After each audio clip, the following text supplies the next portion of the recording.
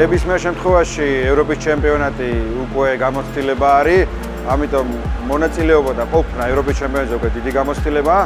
რაც შეეხება შედეგს, მე უშუალოდ მაყოფილი არ ვარ.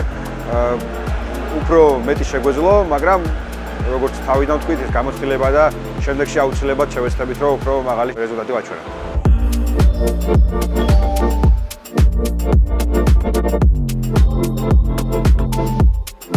ალბათ გამოვარჩევდი პრესინგს, რამოდენიმე თამაშზე კარგად გავართვე თავი და პრესინგი ვითამაშეთ მაღალ დონეზე. რაც შეეხება განვითარებას, უფრო სხვა ასპექტში ალბათ ზონური დაცვის შემთხვევაში უფრო უნდა ვიმუშაოთ და გუნდურ დაცვაზე უფრო უნდა ვიმუშაოთ, მეტი რომ შემდეგ ევროპის ჩემპიონატზე უფრო უკეთესი შედეგი ვაჩვენოთ.